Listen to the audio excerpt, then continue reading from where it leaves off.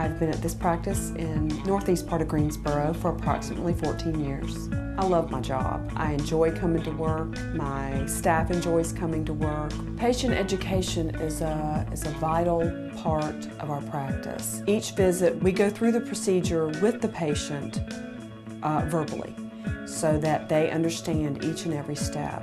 People often uh, look at me and, and say, so nice to be your own boss.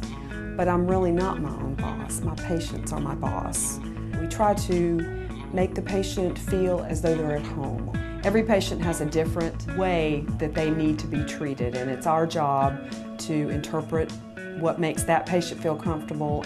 We know our patients as people, we treat them as family, and they appreciate that. They aren't just a number or a set of teeth.